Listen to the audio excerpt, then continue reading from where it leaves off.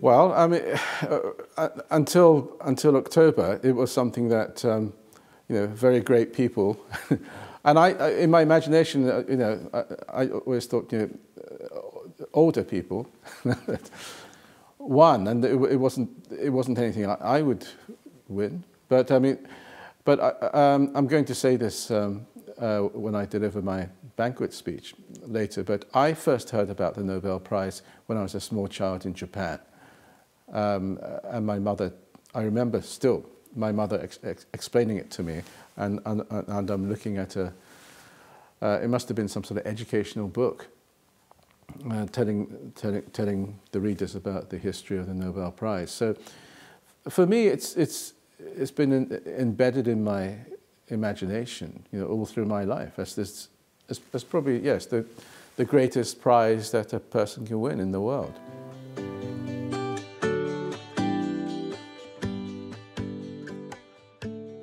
Well, I, I think it's better not to be um, too self-conscious about being a role model. You know, um, I've been, uh, you know, ever since I became a kind of published writer and became well known. Um, I think I think you you have that sense anyway that you have to be. Um, you have to be, you know, responsible to some extent, but also but to, to, to try and inspire younger, younger people and so on, um, and, and your you know, fellow writers. And, um, the Nobel, becoming a Nobel laureate has, has, made me more conscious of this role. I, th I think this is a, uh, has put me on a different um, level in terms of being a role model and my responsibility as a public figure. So that's something I'm going to have to think about and get get used to. I'm no longer just um, a writer, you know, um, of interest to people who, who are interested in writers. I, am occupying some other special position as a Nobel laureate. So it's something I haven't quite worked out yet. But I think I have to be very careful because I notice already in the two months since the announcement, I've been asked to do all kinds of things. Um, you know, sign petitions, support all kinds of campaigns, um, take part in discussion programs I have no qualification to, to take part in. Uh, many invitations have come in that I wouldn't have received before October. And I think um, I've had this advice from past Nobel Prize winners I've met um, to be careful. Um, you know, don't, I mustn't put myself on a platform uh, for which I'm not qualified. Uh, and so I think that's a very important piece of advice, not just for me, but for the, for the world. You know, we don't want we don't want um, people who are not experts um, talking as though they are. This is one of the problems in the world today. So, so that's something I'm going to be uh, um, quite disciplined about. I'm, I'm only going to talk about things I know about.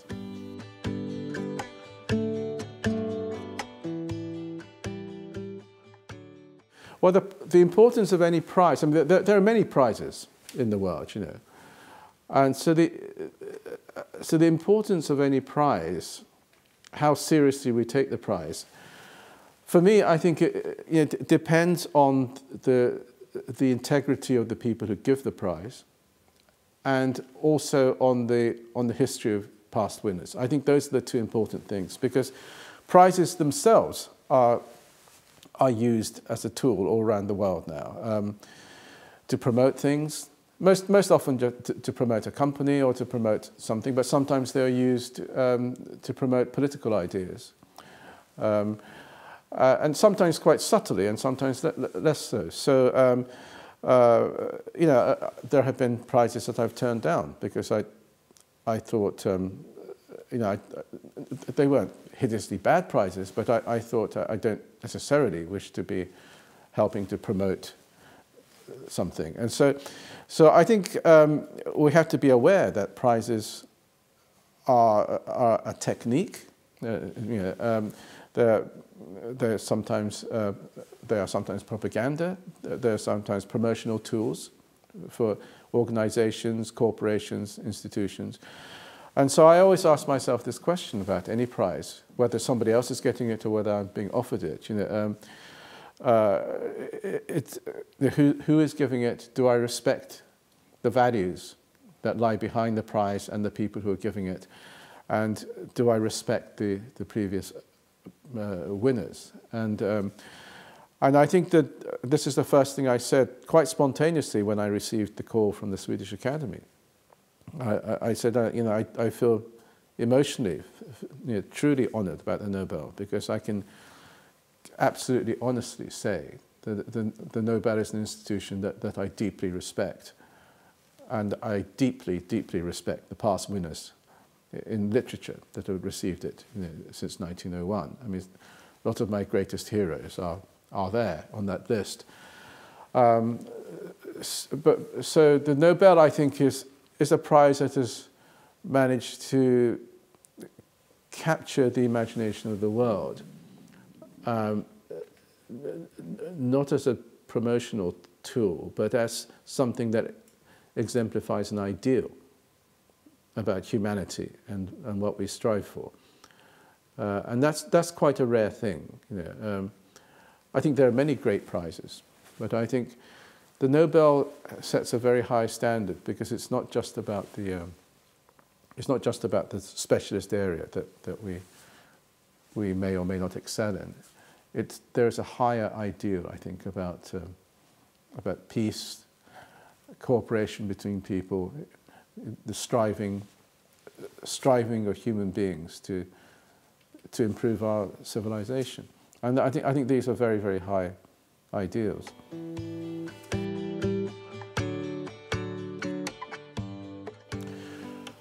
I think, um, I think earlier in my career, um, I was always very interested in, um, in looking at individuals who struggled with their past and their memories. So, so I, typically I would look at a character um, in late middle age or old age, someone who'd been quite proud of himself or herself, um, but then quite late in life gains a perspective um, about, about his life. Let's just say his life, you know. And, and, and he starts to think, oh, actually, um, I had all my values wrong. You know, I, I backed the wrong things. Um, I backed the wrong causes. Um, does that mean my life has been wasted? I, I, I lived my life by the wrong values, even though for most of my life I thought I, I was living by the right values. That, that was a typical situation I became fascinated in. I wrote at least three or four novels around the, these kinds of ideas. As I, as I got older as a writer, I became interested in that same question, um, but applied to societies and nations. And that's something I'm still trying to figure out, how best to express that question. How, do, how, how would a nation or country um, struggle with a nation's dark or shameful memories? When is it better to um, when is it better to just leave these things buried and, and move on? Because I, we can see all around the world now and, and in history cases where conflict just goes on and on and on. You just can't stop it, stop the cycle, because people will not forget atrocities from the past. And sometimes people are, generations are fighting over something that happened centuries ago. Uh, there's a, you know, hatred has developed. Um, so you want to say sometimes it's not good to remember, but particularly in Europe, I think, and, and America to Japan, or the, I mean, the, the, the, we have problems of memories that have been suppressed, and the society is not at peace with itself um, about, say, you know, racism or what happened in the Second World War. Uh, there there's a sense that issues have not been addressed. Um, and this leads to all kinds of tensions. As with, at the moment, you know, America is in a terrible turmoil because, because there's a feeling that certain things about its past, uh, about African Americans particularly, have, have not been addressed properly. Um, I think Europe is, has been in a state of tension through, ever since the Second World War. Um, so this question about personal memory and, and national memory, I think is something that in interests me very much.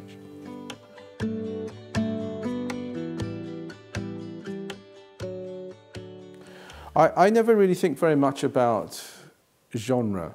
Um, uh, often I'm drawn to a particular project which I've chosen quite carefully because I don't have many ideas. You know, I'm not a I have, you know, one good idea every five years or something. So I don't, it's not as though I have a big choice. I, I don't, I don't sit there thinking that now I'll write a, write a thriller or now I'll write a love story or a period thing. Um, I, have a, I have an idea and it's usually an idea that doesn't yet have a setting. It's, I don't really have a time and place geographically or in, in, time where I'm going to put this story down.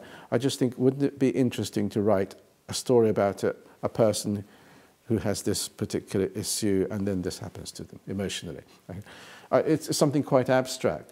And so I find myself almost like, a, you know, the way movie people go location hunting, you know, when they've got a, got a script, you know, where would be a good place to film this? I mean, I find myself looking through history or looking through different genres to try and figure out what is the best way to express this story. Um, and so I'm, I'm never particularly, I, I never start off by saying I, I might do something that's a bit like a science fiction book or something, or something like a detective story. I become desperate and I, I use whatever I can to express the particular idea. And it's only when I finish that you know, somebody might look, look at what I've written from the outside and say, well, that looks like a, a piece of fantasy or that looks like science fiction.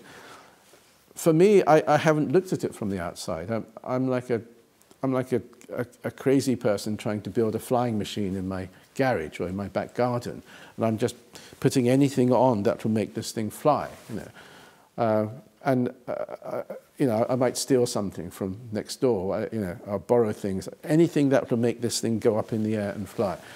And it's only when it's flying that people look at it and say that that, look, that, that looks like a, um, you know, a, a period love story or something like this.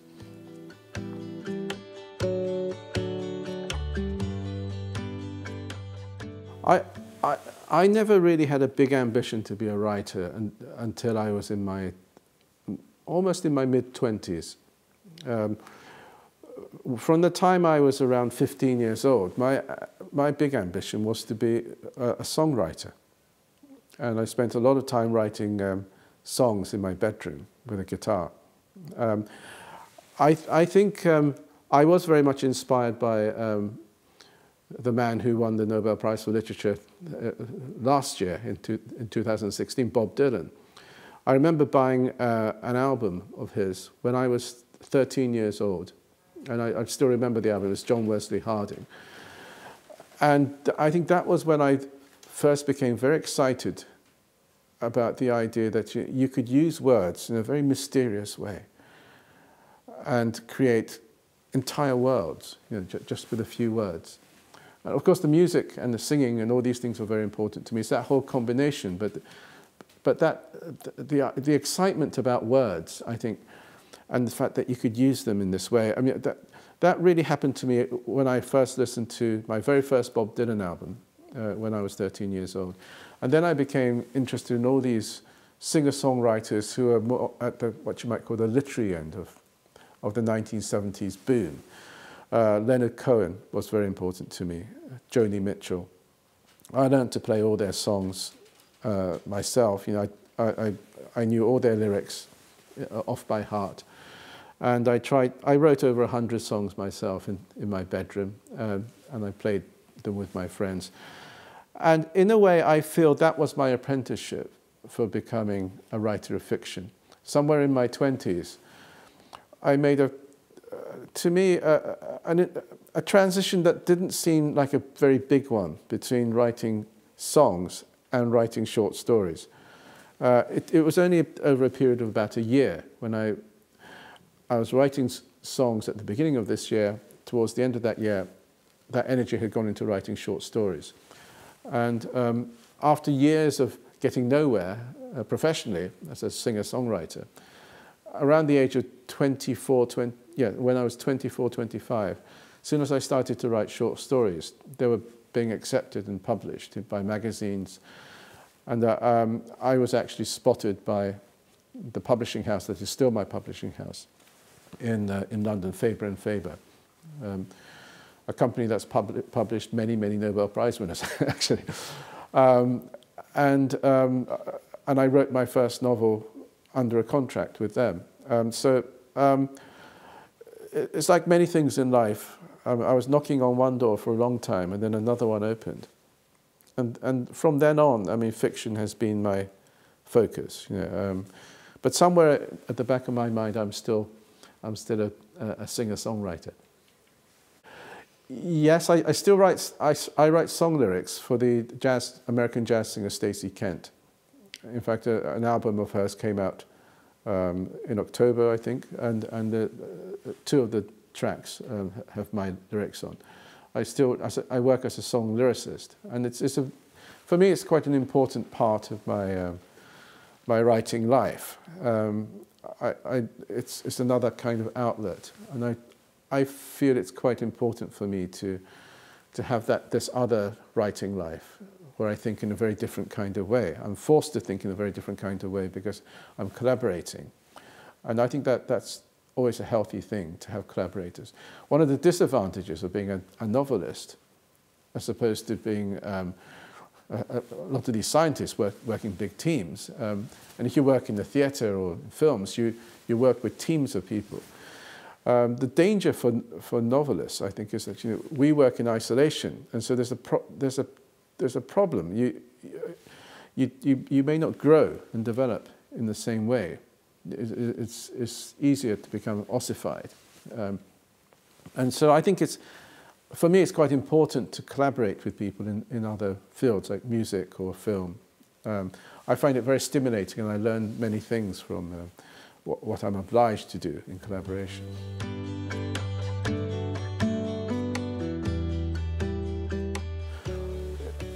Yes, I've, I've spoken about my early influences from, from the world of uh, music, you know, singer-songwriter music. Uh, um, but if we're talking about actually literary influences, um, now oddly, uh, you know, people never seem to say this when they're looking at my work, but I know that the, uh, the, the novelist that's influenced me the most is Charlotte Bronte, the 19th century British uh, novelist, uh, and particularly two books, Jane Eyre and Villette.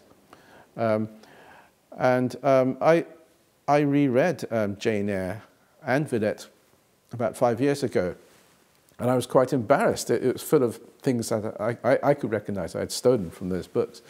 But I, I, re I read those books at a particularly crucial point when I, in, in my writing life, I think, before I actually started to write fiction, but uh, when I st was starting to think about writing fiction. And so particularly the use of first person, uh, the first person technique. You know, what, a, what the narrator hides from the reader and hides from herself in the Charlotte Bronte books, um, became the foundation for me. Um, and so Charlotte Bronte remains a big influence. There are other writers that, that are great favorite writers of mine. Possibly Dostoevsky is my favorite novelist, but probably he, he hasn't influenced my style very much. I mean, he writes in a very, very different way. However, I think uh, influence is a very interesting and subtle thing. Um, sometimes somebody who's very different to me in temperament, actually, uh, I think because of that difference, that it, it's almost like it, it's, it's a, it, it, creates a tension, a natural tension, and I think that's very good. Something is pulling me away from my comfort zone, and I think, oh yes, I had to do that. You know, what would Dostoevsky do with this? And of course, I could never write like Dostoevsky, but I think a little bit of Dostoevsky would help here. You know, it stops me becoming. And, um, uh, and Marcel Proust uh, was, was very important to me. Um, more technically, you know, how to, how to tell a story not necessarily through the plot or through chronology of how the events unfold in your story, but the great freedom I see in, in Proust's work of of just following the drifting memories or the thought associations of the narrator. So you can have an episode from, from yesterday and it goes right into a memory from 30 years ago. Um, there's much more abstract way of ordering your canvas, you know, uh, as a writer. Um, I, I, learned an enormous amount from, from Proust. But everybody, you know, Kafka is another, another writer who's very important to me. Kafka and Samuel Beckett, and actually Harold Pinter, another, uh, I think uh, Kafka isn't, but the other two are Nobel Prize winners. Uh, people who, who give me guidance and inspiration about how to deviate from uh, realism, from, from you know, uh, doing something to distort the, the reality that, that, the familiar reality that we see around us. Now, how, how do you distort, well, once you move away from, from orthodox realism, the question becomes, well, so what do you do? I mean, how do you, what become your, what, what are your new laws? You know, by, um, uh, if, you're, if you're an outlaw, you have to, you have to, you have to, in fact, this is the Bob Dylan line, isn't it? To live outside the law, you have to be honest. Um, but I think that's very true when you deviate from re realism. And, um, and so the great writers like you know, Kafka, Beckett, Pinter, they are models for me for, for how you deviate from, from, from conventional realism.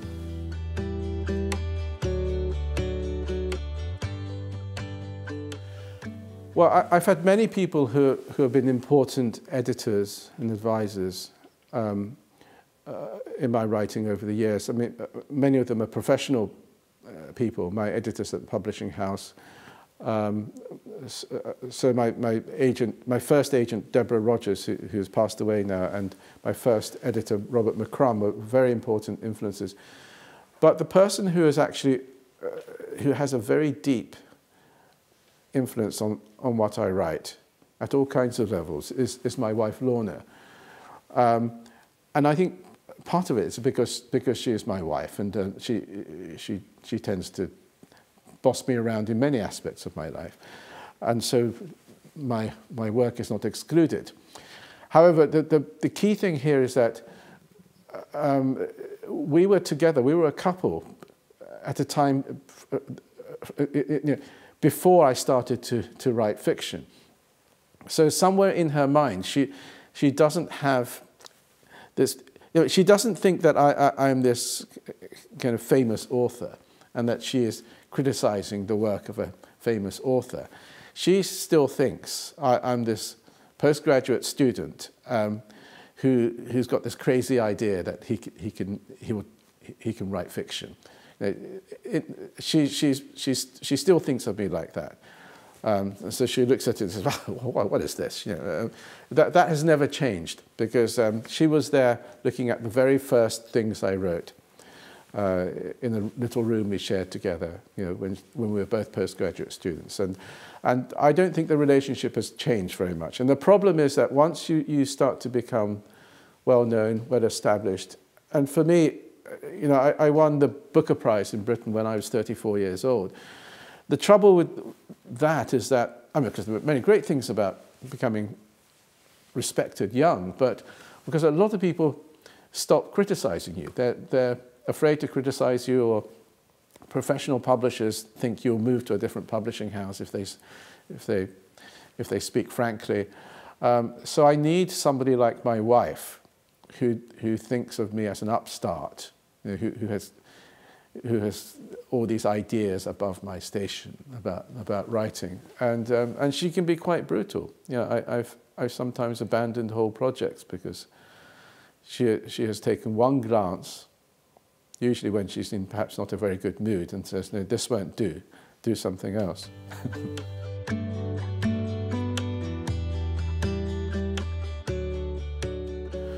well, a lot, I mean, a lot of people ask me, you know, do you have any advice for, for aspiring writers or young writers? And of course, these days, I don't know how it is in, in Sweden, but you know, certainly in the English-speaking world, um, every university uh, seems to have a creative writing course. Um, uh, um, there are private creative writing programs everywhere. Everyone is very keen to to be a writer these days. That wasn't the case when I was, when I was young. Uh, nobody was interested in, in literature. Uh, but it's very, it's very difficult for, for me to, to come out with any kind of useful advice about how you write. I mean, everybody must do it in their own way. But, but there is one fundamental thing I would, I would say to, to people at the early stages, or people who have these ambitions. I would say, particularly in the world as it is today, you have to ask yourself, do you really want to write? Or do you want to be a writer? Because I think many people have this ambition to be a writer. You know, they want the status, the position of being a writer. But actually, they may find that they don't particularly want to write.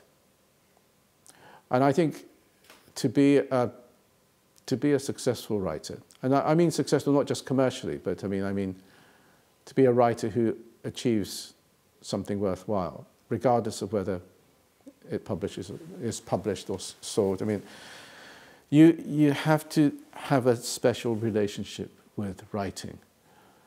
Um, and I think part of the difficulty at the moment is that it, it's quite difficult for people to, to find out themselves which it is they really want. Because be, being a writer has become such a coveted um, position now. And, um, um, and, and a lot of people dream of being a writer, but sometimes perhaps that isn't the right thing because you know writing isn't isn't for you, you know, and that's all right. You know, something else may be for you. So I, I would say get that very clear. Try and find out. You know, do you really want to write? That's the important thing.